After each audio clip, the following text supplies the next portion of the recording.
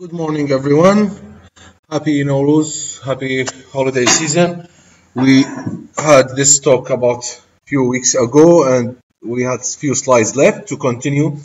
It was about review of radiological features of some of the interstitial lung diseases. First of all, I remind you all to subscribe to our YouTube channel if you haven't not subscribed yet. Uh, all the talks are there.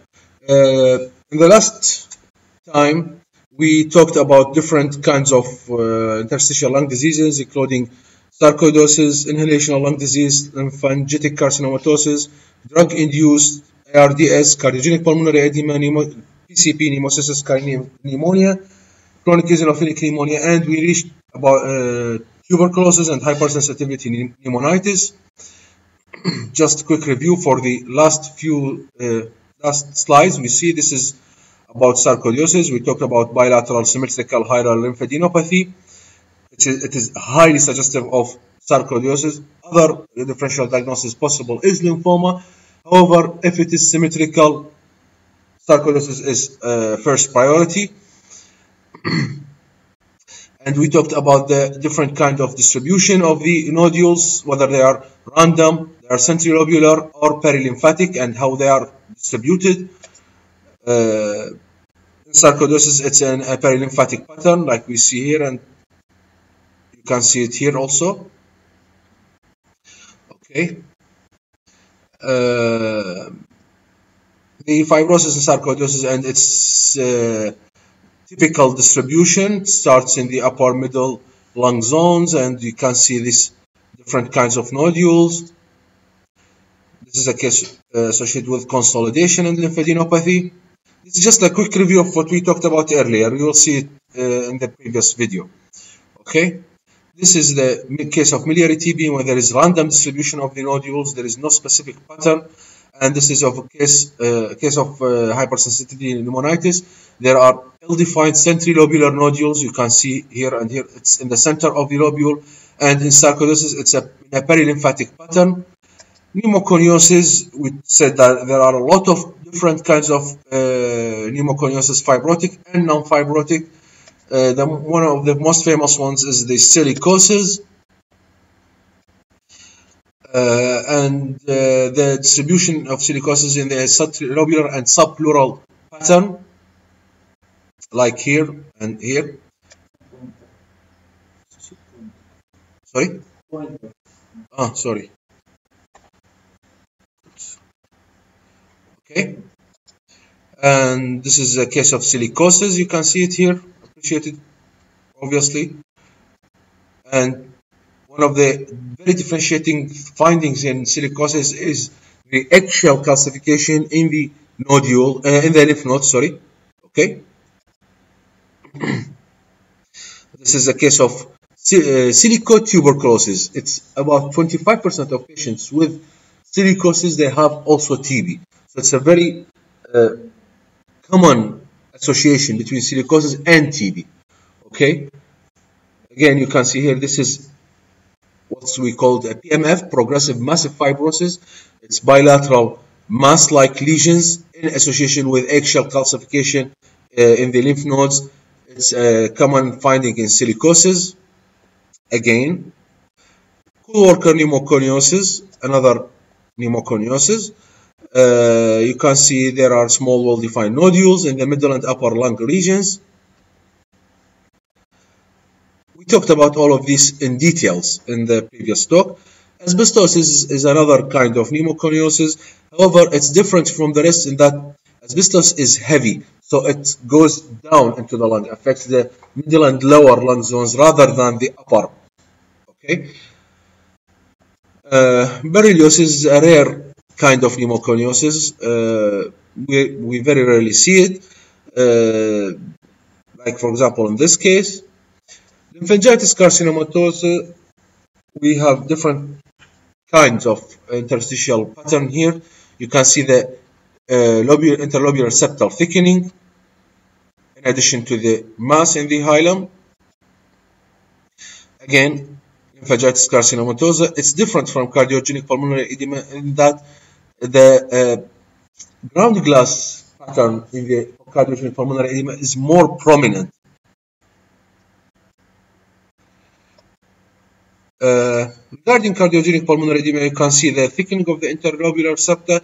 It's usually radiating from the hilum outward, and uh, and there is some interstitial fluid resulting in ground glass pattern, in addition to the interlobular septal thickening, plus the history, of course, the clinical history.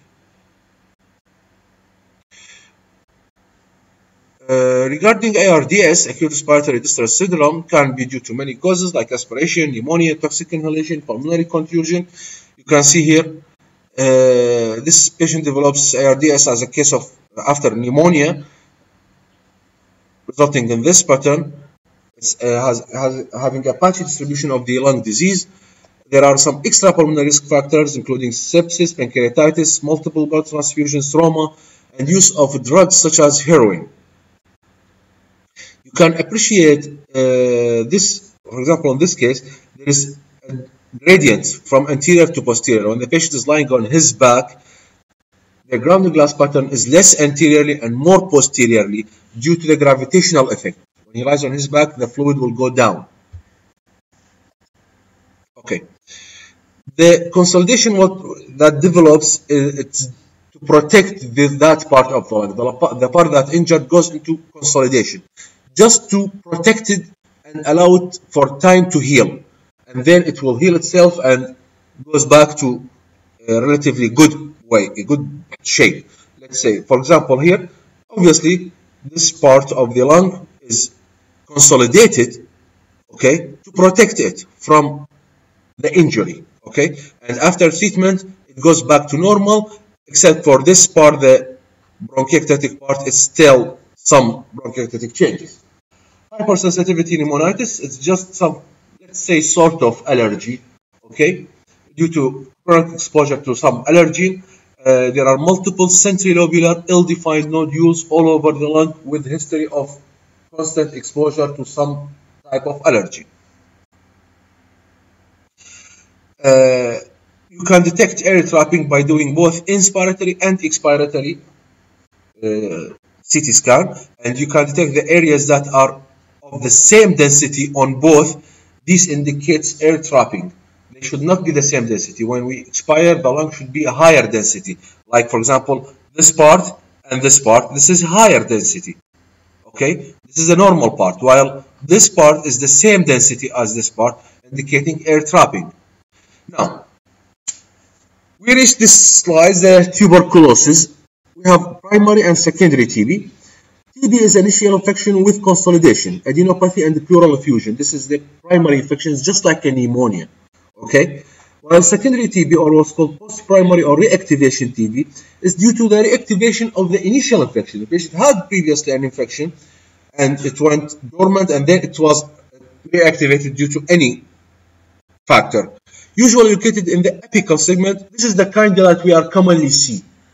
The TB that we commonly see is the secondary or post-primary or reactivation TB. The primary we don't we, we don't see it because we confuse it with pneumonia. Patients commonly present with airspace opacification, consolidation. We consider it as a pneumonia, and that's it. So it's usually located in the apical segments of the upper lobe. It can have cavitation, and all the classic findings that we know about, we'll talk about it in a minute. We see it in the secondary TB. Okay. The endobronchial spread of the TB may occur in both primary and secondary TB. Uh, when the infection is not contained, sometimes there is hematogenous spread of TB, resulting in what's called miliary pattern. May occur also, again, in both primary and secondary TB when the infection is not contained. So you have either miliary TB or you can have endobronchial spread. What are the findings? The HRC, the high resolution CT scan findings in TB in the primary TB can present as a consolidation anywhere. Lymphadenopathy, pleural effusion, regress. It's just like a pneumonia. Airspace opacification, consolidation, post-lymphadenopathy, some pleural effusion. It heals and might leave some calcified lung nodules, calcified ipsilateral lymph nodes. And then the secondary TB will come after many years later, results in consolidation in the upper, upper apical segment of the upper lobes or superior segments of the lower lobes. with cavitation. This is due to secondary TB. The patient had a previous TB infection and now he is presented with reactivation of the TB. The endobronchial spread resulting in tree in bud appearance. What do we mean by tree in bud appearance? Small centrilobular nodules, soft tissue attenuation, connected to multiple branching linear structures of small calibers originating from a single stalk, just like a tree with budding at the end, with small flowers at the end. Okay, this is tree in bud appearance due to endobronchial spread. Miliary TB is defined as innumerable 2 to 3 millimeter nodules with random distribution. This is a key word. Random distribution. It has no specific pattern everywhere. Okay.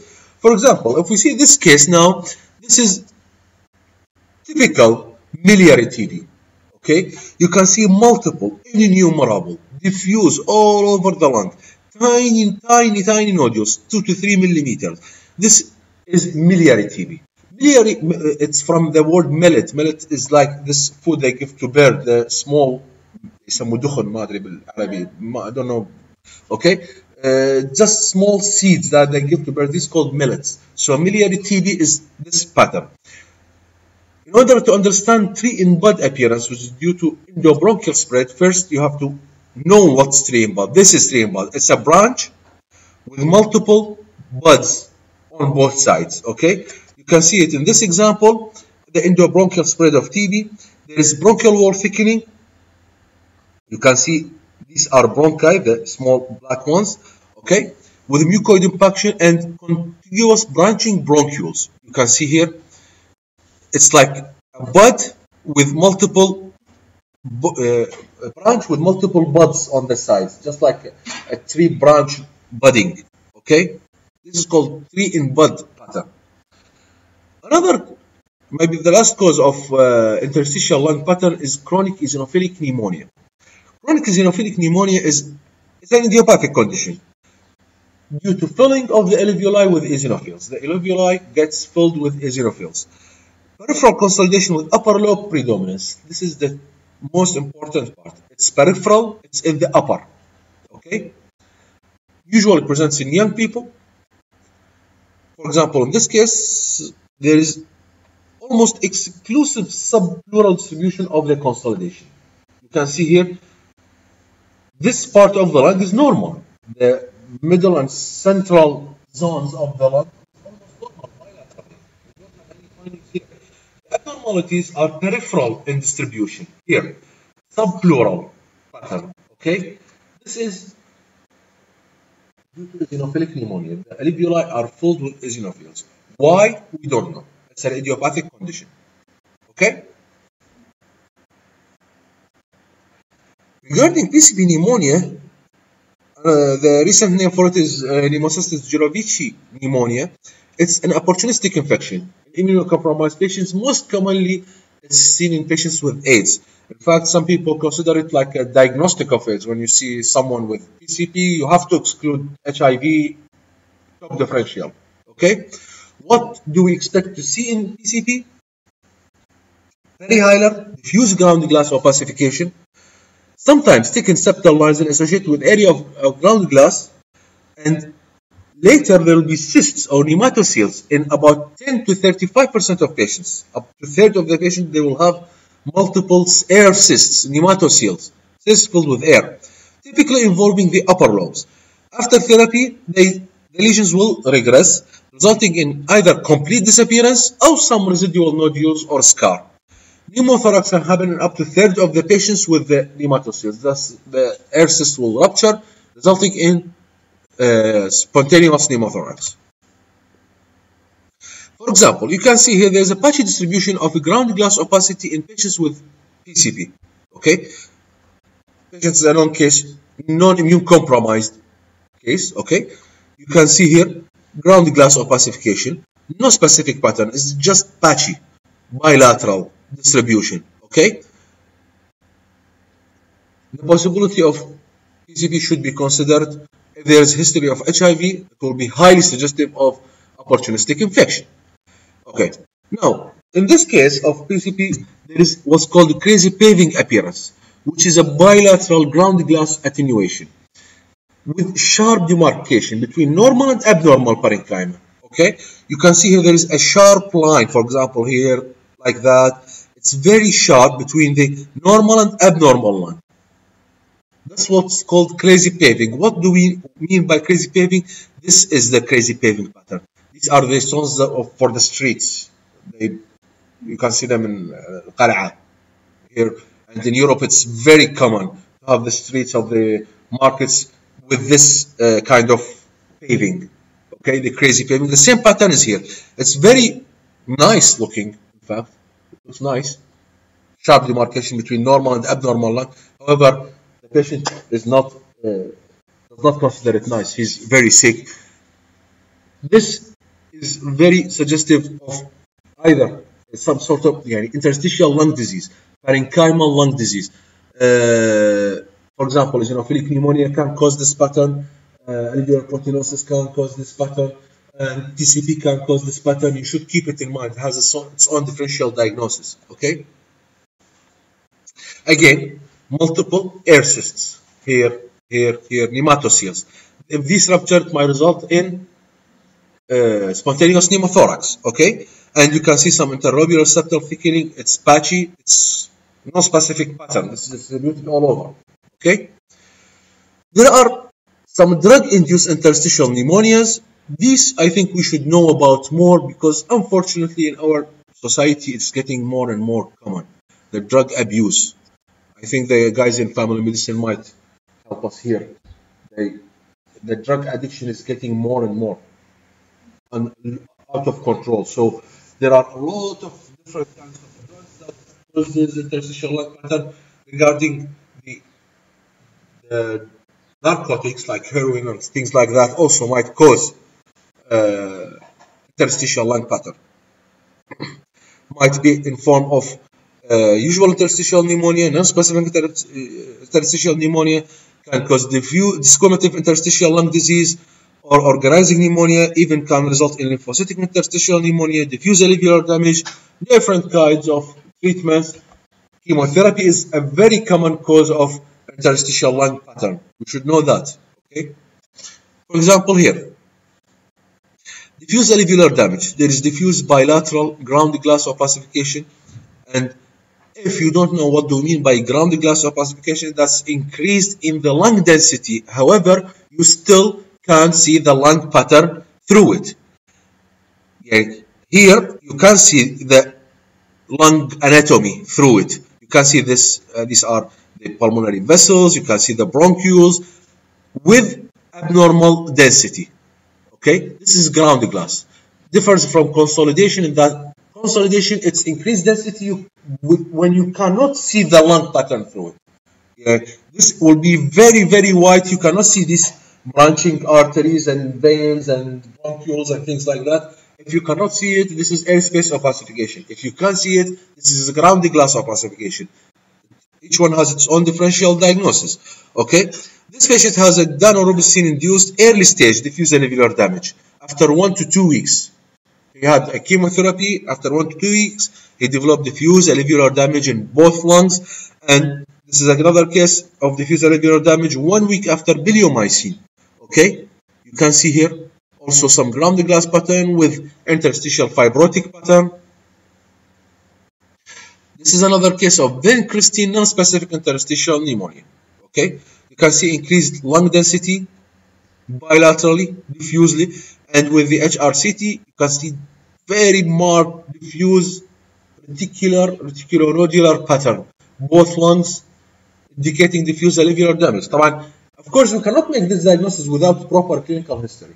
The clinical history will be of primary importance. If we don't know that this patient has some sort of malignancy, let's say chemotherapy, he developed respiratory distress after the chemotherapy, we will never be able to suspect. so radiology is a clinical pattern, clinical science, not uh, pure science. If we don't have the clinical notes, the lab, the previous history, previous treatment, previous surgery, previous I don't know what, you cannot help with giving the proper diagnosis or at least suggest the proper diagnosis. This is a 60 year old woman with non small cell lung cancer treated with carboplatin and vinorelbine. You can see multiple bilateral diffuse areas of ground glass opacity more prominent in the uh, you can see this mass in the left lung lobe ground glass reticular opacities and after a while you can see the mass is markedly improved due to the effect of the chemotherapy okay? However the interstitial pattern persists due to this is the damage okay amiodarone is a drug induced uh, uh, used uh, for treatment of cardiac arrhythmias. It's deposited in the lungs. Can cause different types of interstitial pneumonitis including non-specific interstitial pneumonia diffuse alveolar damage and organizing pneumonia. Because it contains high iodine it has a high attenuation value on CT this is the most important thing. When you see some sort of abnormality on non-contrasted image without contrast, but it has a high density. It's not calcification, it's just high density, just like the thyroid. Thyroid gland on non-contrasted CT scan usually will show a high density because it contains iodine. Iodine, we, we use it as a contrast medium. Okay? Amiodarone contains a high amount of iodine. So it will result, it will deposit in the lung, giving a high density pattern. Okay? There will be increased liver and spleen attenuation also.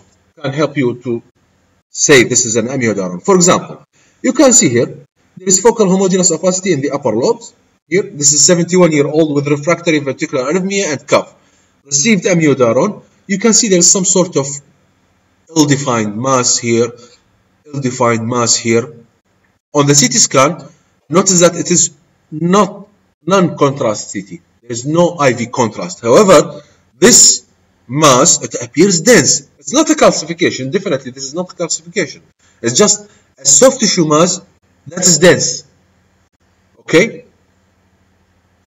This suggests amiodarone deposition in the lung. There is no other explanation. Okay? And you can see here, there is increased density of the liver on this non-contrasted CT scan. Again, it's without contrast. The liver should be almost the same as the spleen. Can see the difference here. Usually, you see both of them, liver and spleen increase. However, this in this case was only the liver.